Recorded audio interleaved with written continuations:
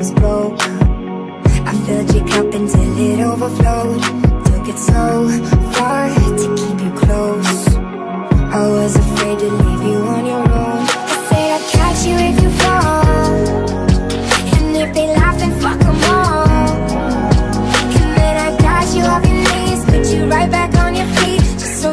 take it.